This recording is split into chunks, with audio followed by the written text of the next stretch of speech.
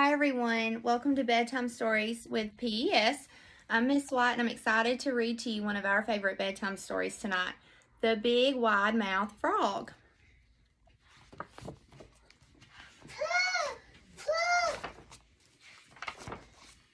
Once there was a big wide mouth frog with the biggest, widest mouth you ever did see. And one day that big wide mouth frog hopped off to see the world. The first creature he met had big thumping feet. Hey you, big thumping feet, who are you and what do you eat? shouted the wide-mouthed frog. I'm a kangaroo, said Kangaroo, and I eat grass. Well, I'm a big wide-mouthed frog, shouted the wide-mouthed frog, and I eat flies.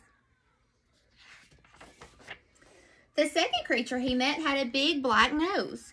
Listen, Mr. Big Nose, who are you and what do you eat? shouted the wide-mouthed frog.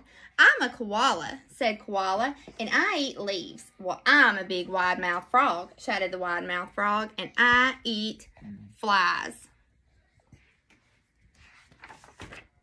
The third creature he met was hanging upside down. Ho there, upside down creature. Who are you and what do you eat? shouted the wide-mouthed frog.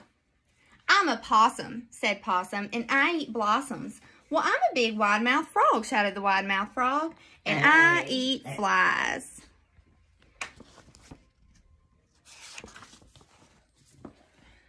The fourth creature he met had three long toes. Look here, three long toes.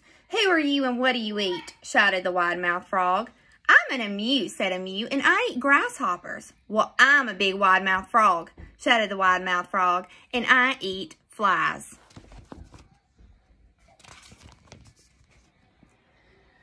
Then the wide-mouthed frog met a creature stretched out on the riverbank, like a knobby brown log. Hey, knobby brown log, who are you and what do you eat? shouted the wide-mouthed frog.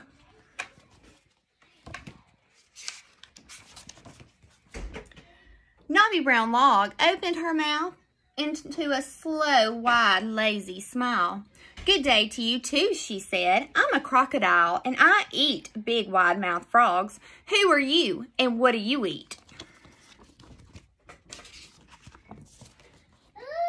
Me, whispered the wide-mouthed frog, puckering his mouth into the smallest, narrowest mouth you ever did see.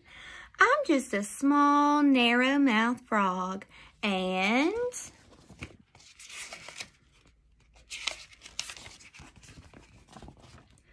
I'm off. Good night, everyone at PS. I'm glad I could read you a bedtime story.